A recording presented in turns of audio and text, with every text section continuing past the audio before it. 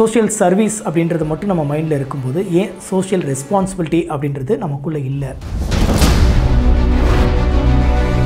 எங்கேயோ நம்ம தூக்கி போகிற ஒரு குப்பை நம்ம ரசிச்சுட்டு இருக்கக்கூடிய அந்த கடற்கரையை அசுத்தப்படுத்துது.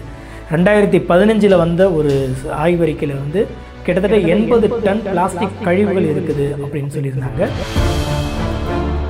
காடுகளை பாதுகாப்பதற்கு வன உயிரினங்களுக்கு உணவை கொடுக்காம இருக்கிறதுமே ஒரு சிறந்த பயணத்துக்கான ஒரு வழிமுறை தான் பயணிப்போம் Listen to this full episode on Spotify.